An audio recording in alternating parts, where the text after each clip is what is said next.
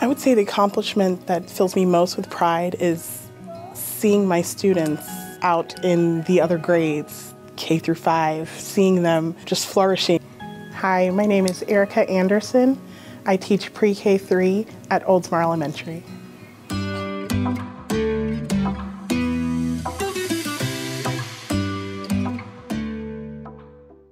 Shake it up high.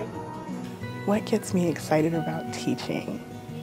I think really just because I'm in early childhood, most of the time I'm many of my students' very first teacher, and I love that I get to be their first school experience.